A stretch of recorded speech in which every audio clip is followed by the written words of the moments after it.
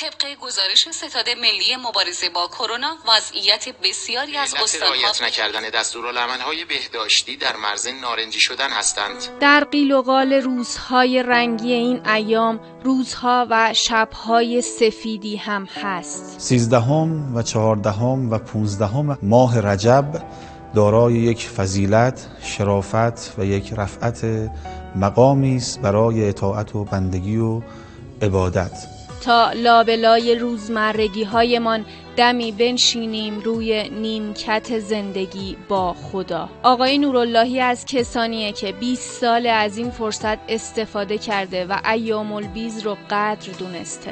عین چیزی که خودم بهش رسیدم. یک سال منتظره که دوباره این ایام برسه و این لحظه ها رو و این فضا رو با تمام وجود لمس بکنیم حتی خودت هم اهلش نباشی همین که تو این فضا قرار بگیری خب مثل بارونی که میباره. چه شما دوست داشته باشی به شما بباره چه نباره. از سالهایی گفت که معتکف بوده. مردم کوچه بازار ما رو می‌دیدن از همون پنجره کوچکی که باز بود. خیلی حالا نمیدن همون لحظه که ما رو می‌دیدن التماس دعا می‌گفتن گریه می‌کردن.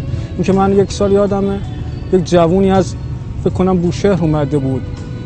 تا نزدیکی های از آن صبح پشت تر واسه التماس می‌کرد گریه می‌کرد که اجازه بده بدید من بیام جز متکفین و ویروس منحوسی که فرصت اعتکاف در خانه خدا رو گرفته اما خیلی حقیقتا ناراحت بودم.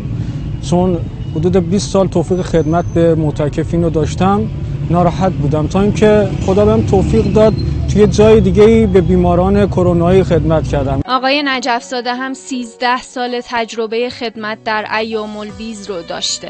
از بهترین تجربه های عمر من روزهایی بود که توفیق خدمتگذاری عزیزان رو در مسجد اعظم قوم در ایام اعتکاف داشتیم. از لحظات فراموش نشدنی بندگی برایمان گفت. بهترین لحظه هایی که معتکفین داشتن لحظه های قبل از اذان صبح مناجات با خدا و تهجد و نماز شب معتکفین بود.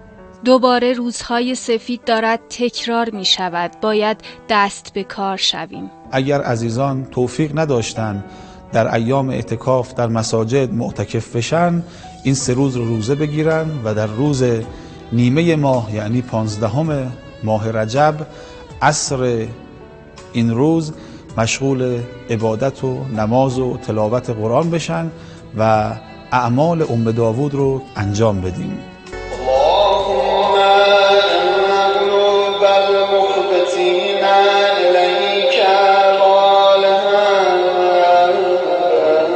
احیاء این سه شب زیارت ابا عبدالله الحسین علیه السلام و نمازهای متعددی که وارد شده در مفاتیح الجنان از اعمال دیگر این ایام است.